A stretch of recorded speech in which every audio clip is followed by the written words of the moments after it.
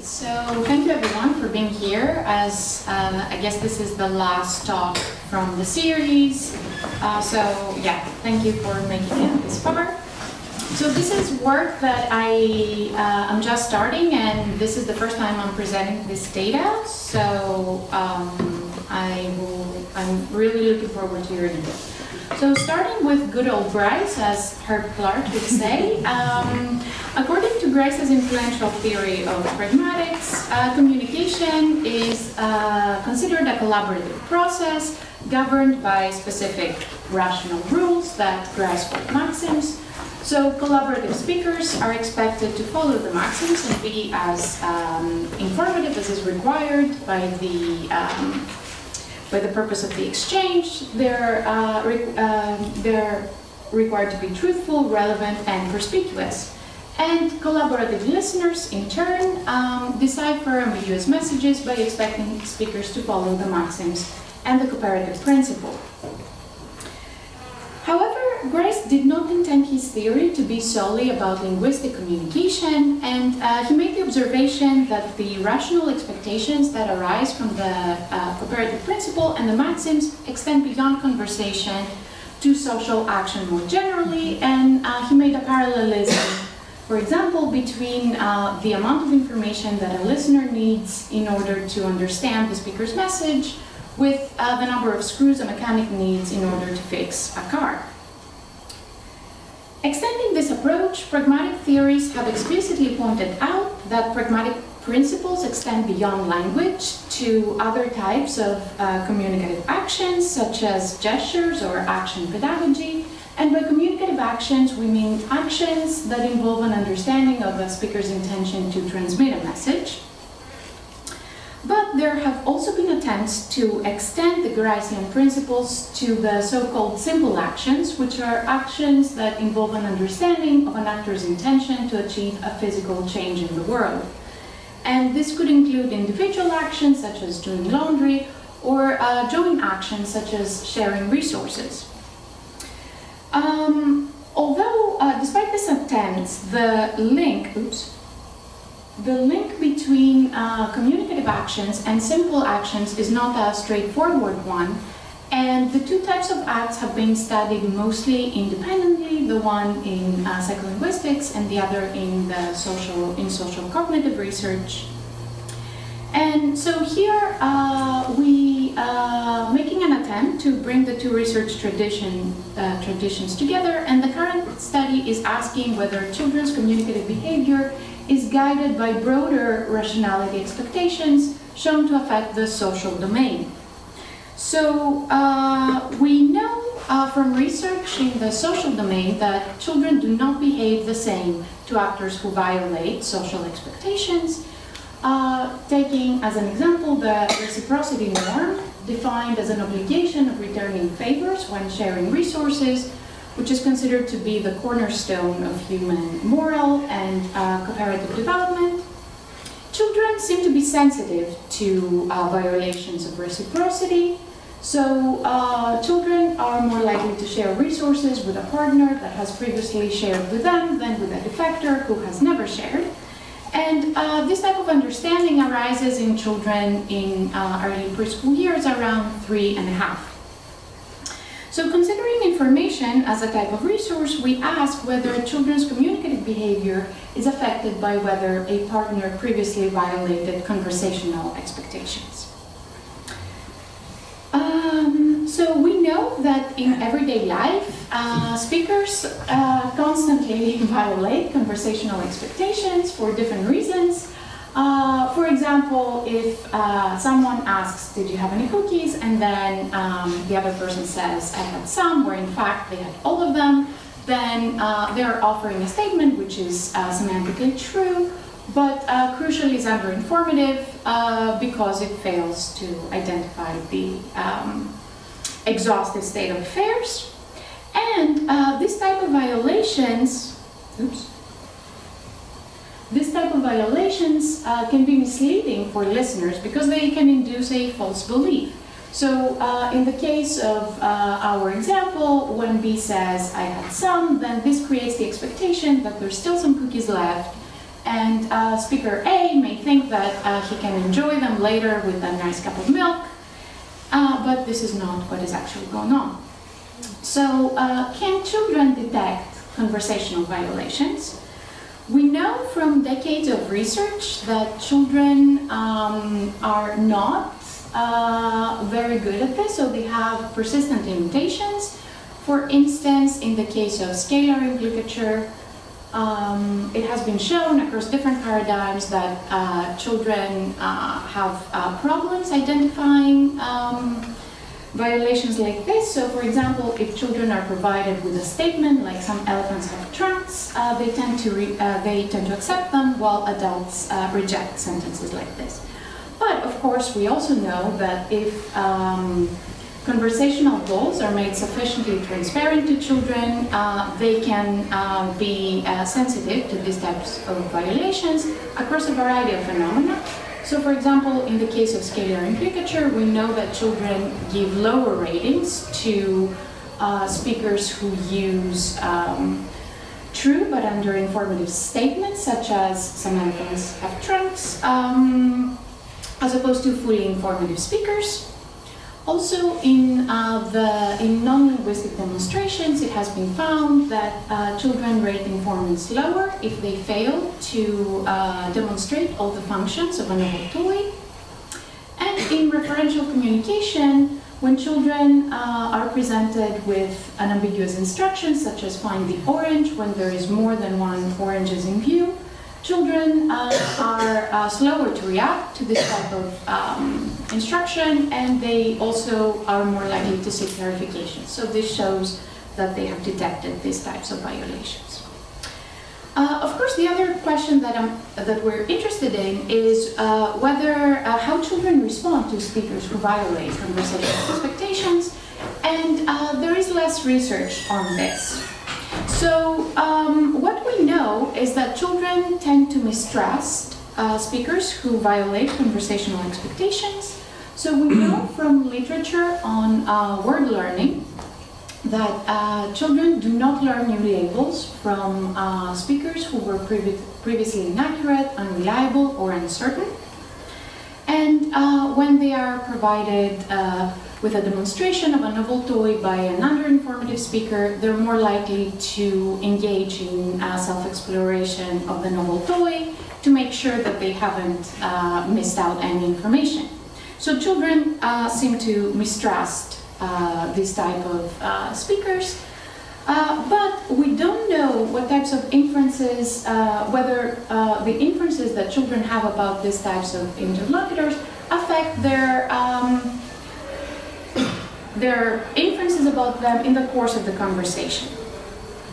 So in the current study, we asked whether uh, children's communicative behavior is affected uh, by whether a partner previously violated conversational expectations, and specifically, we want to know whether children adjust the amount of information they give based on how informative a partner was towards them in a prior interaction.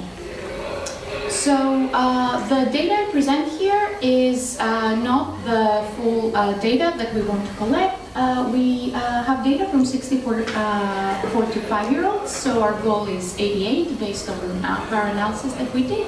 And the children were, recruit, were recruited at Ontario Science Centre in Toronto and in the lab. So what we asked children to do was to perform two tasks with uh, some speakers. So first, uh, children were uh, asked to perform an informativeness rating task uh, because we wanted to assess their understanding of uh, partners' conversational violations.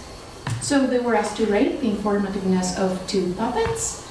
And then they participated in a referential communication task in which they were asked to describe a target object on a computer screen so that their listener, one of the puppets, could successfully identify it. So for the informativeness rating task, children were presented with two speakers, these two puppets, which were enacted by a second experimenter, and they were told that these uh, two puppets would help them find some hidden stickers. Uh, then uh, they were told that they would be asked to evaluate uh, the two speakers based on uh, how good of a job they did, and they were told that if they did a very good job, they, um, we would give them a big strawberry, but if they did not do a good job, they, we should give them a small strawberry. So we used this simple two-point scale uh, that children found easy to use. Uh, for um, an example trial looked like this. So children were presented with three containers.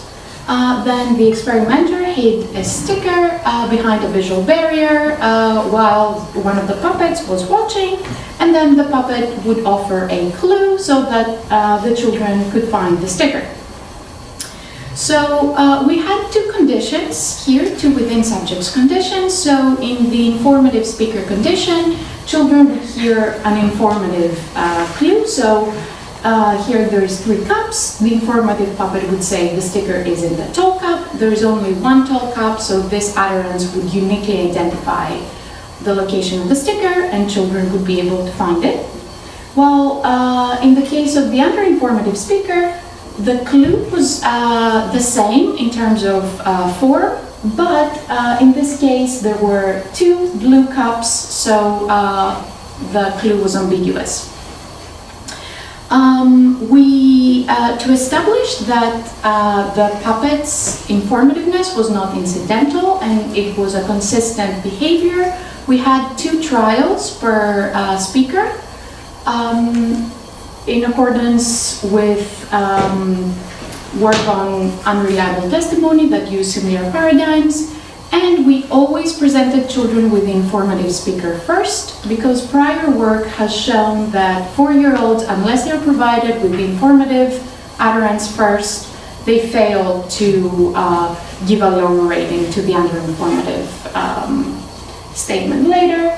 And we wanted to make sure that even our youngest participants could really draw the contrast between the informative and the uninformative uh, speaker. Then uh, children uh, played uh, a referential communication task in which they were presented with a display like this with four objects, two of which contrasted along one dimension, and uh, one of them was the target indicated by the arrow, and they had to describe the target object to their uh, listener who was one of the puppets. So in this case, they would have to say something like, it's the blue backpack. Uh, the way we presented the referential task to the children was that we told them that now it's your turn to help uh, one of the puppets find a hidden treasure. So the puppet was given this board game and uh, in order to win a treasure, she had to collect the cards that went on these uh, squares the puppet was also given a book that had all the cards required to play the game, but the puppet did not know which one was the right card every time because the puppet did not have the arrow like the kid. So the kid's job was to help the puppet find the right cards and win the treasure. We had two uh, between subjects conditions here. Uh, children either played with the informative or helpful uh, partner and um, or with the uh, yeah Half of them played with the helpful partner, half of them played with the unhelpful partner. For our predictions, um, we predicted that children uh, who um, are sensitive to uh, pragmatic violations, they should give uh, a big reward to the informative speaker, but a small reward to the under-informative speaker, and we expected this to um, arise significantly above chance. And then for uh, for the referential communication task, we expected uh, children to use more target modifiers when they communicate with a helpful partner rather than the unhelpful partner. And uh, we were also interested in whether we would find any uh, individual differences. So uh, we wanted to see whether the tendency to give more information to the helpful partner would be affected by children's sensitivity to informativeness as defined by the uh, previous task, the rating task. So uh, for our results, um, here uh, we found that both four and five-year-olds offered the informative um, speaker um, the big reward significantly above chance, and they also gave uh, the under-informative speaker the small reward significantly above chance. So children were pretty successful at identifying uh, the informativeness of the two interlocutors, although they were um, more successful for the uh, informative uh, speaker. Now, turning to the results from the referential communication task. Um, here, what we found is that uh, five-year-olds offer more target modifiers than four-year-olds who uh, very rarely used any modifiers in our task. And uh, we also found a marginally significant different uh, interaction between age and type of partner such that, um, so this represents this difference here that uh, five-year-olds tended to uh, offer more um, target modifiers than uh, in, in the helpful partner condition than the unhelpful partner condition. But again, this is just marginally uh, significant. So we did some exploratory analysis to see uh, how pragmatic sensitivity would uh, affect um, these tendencies. So we coded children as pragmatic and non-pragmatic responders. And we coded as pragmatic responders children who gave the correct rewards to the puppet. So children who gave a big reward to the informative puppet and a small reward to the underinformative uh, puppet and everything else was coded as uh, non-pragmatic responders. So uh, then we uh, ran the same model by including pragmatic sensitivity as a factor, and uh, this uh, did affect our results. So uh, in this case, we found an interaction between a significant interaction between age and the partner, such that older children tended to be uh, tended to give more information to the uh, helpful puppet as opposed to the unhelpful puppet. And because we were interested in uh, more fine-grained age distinctions here, um, and moving forward with uh, follow-ups and more experiments, we also uh, looked at a more uh, fine-grained analysis of age.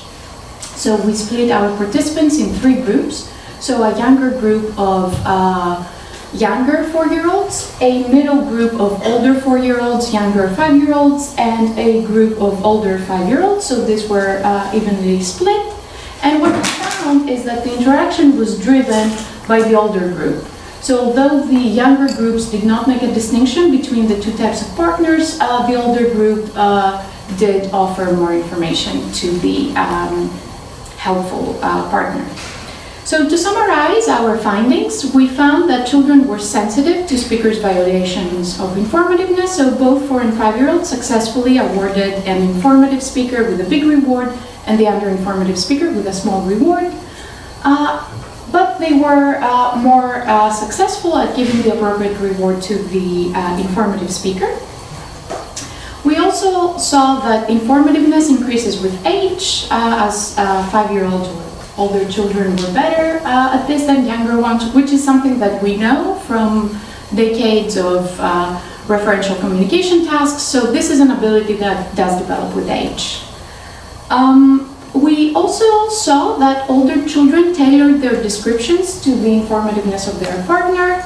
So older uh, five-year-olds were more likely to use target modifiers when communicating with a helpful uh, as opposed to an unhelpful partner but younger five-year-olds and four-year-olds offered the same amount of modifiers to the helpful and unhelpful partner. So, of course, uh, we want to know what is the nature of the underlying mechanism behind this result. And uh, right now, we have uh, two uh, possibilities that we speculate on. So the first possibility is that children were perhaps more motivated to help the helpful partner achieve the, her goal, and that's why they offered more information. And um, we know that there's a cost associated with producing more informative descriptions, so children perhaps were more likely to assume these costs for um, the sake of the helpful cooperative uh, interlocutor, which is in accordance with uh, work that I have done for uh, my PhD, in which we found that children are more likely to give information to a collaborative interlocutor as opposed to a passive interlocutor, uh, while keeping uh, other aspects of the task the same. The second possibility is that children may have penalized the unhelpful partner by offering less information than was required.